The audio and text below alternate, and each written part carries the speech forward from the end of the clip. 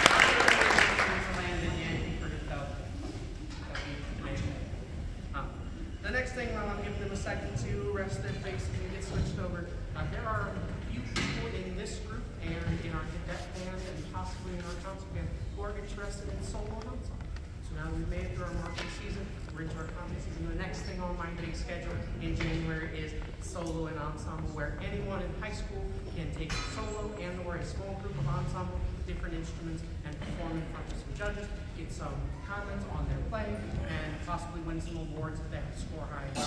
Middle school will have their solo and ensemble later in the year. Parents, I heavily encourage you to encourage your students to participate in solo and ensemble. It's where students can go to be challenged beyond the classroom. If they're feeling like, hey, he's not going fast enough for me in class, and ensemble is the perfect thing for me to give them a piece, work on it on their own, come in, see a judge, and see how they can get better. There are some fees related with it, the high school fees at the moment, and this is just for you all to know, because sometimes I don't believe that your students tell you the things that they're supposed to tell you. So if any of your students are participating in solo ensemble, a solo is twenty-one dollars, an ensemble is twenty-six dollars. However, that can be spread amongst an ensemble, so depending on if you have four people or five people in a group, they may have a different amount that they need to bring in if they're all chipping in the same amount. So please talk to your students, see if they are planning to participate in solo ensemble, and if they're not, encourage them, it's a great opportunity. The first time is always the scariest, then once you get through kind of the idea of it, uh, it always gets easier the years afterwards, so it's always a good time to start. Our next piece uh, is probably the main reason why you've seen a lot of people wearing pajamas. I'm a stickler for nice dress codes, as you can see, I look very snazzy. Uh, but I figured it's the holidays, and this is one of those tunes where if you know the movie, if you've seen it, this makes a lot of sense. Our next selection is The Polar Express.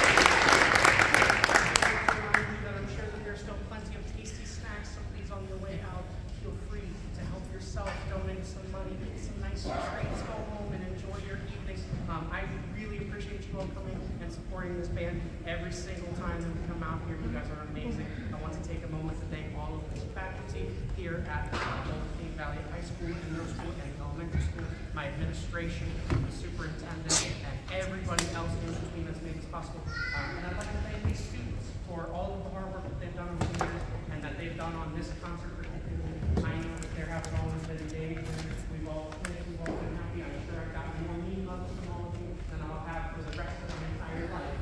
Um, but I truly believe that these are some of the best students in the entire world. They're some of the best musicians, and I love working with them and getting to know them. So thank you all again for making this the pleasure of my entire life. Um, We're going to finish up with the only possible song that you can finish any concert with. This is Leroy Anderson's Sleigh Ride.